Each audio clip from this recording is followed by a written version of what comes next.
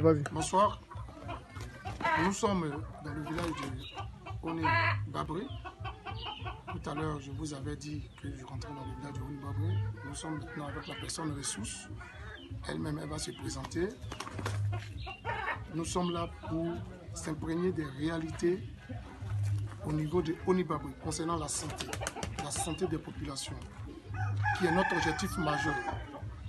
Donc, nous sommes avec la personne ressource pour nous expliquer exactement les préoccupations des populations de Onibabri. Alors, je vous laisse le soin d'écouter notre personne ressource, le soin de se présenter et nous allons procéder à une petite série de questions. Ok, bonsoir. Je m'appelle Aka Samuel. Je suis originaire d'Onibabré, Je suis BT. Nous sommes à mon domicile à Onibabré. nous avons beaucoup de problèmes, surtout la santé. La santé, vous voyez, si tu n'as pas la santé, tu ne peux pas travailler. Or, la Côte d'Ivoire est basée sur l'agriculture.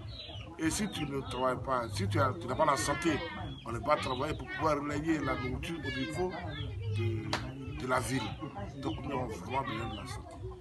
Et mon frère qui est venu ce soir nous parler de cette ONG